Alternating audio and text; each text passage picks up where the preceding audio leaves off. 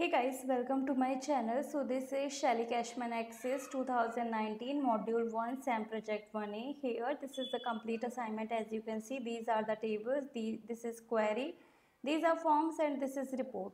Now first of all we will open some of the tables just to show you that this is a complete assignment.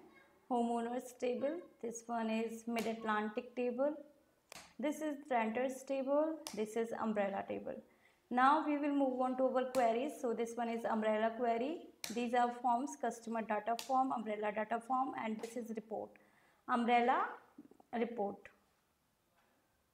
Yeah. So now we will close them.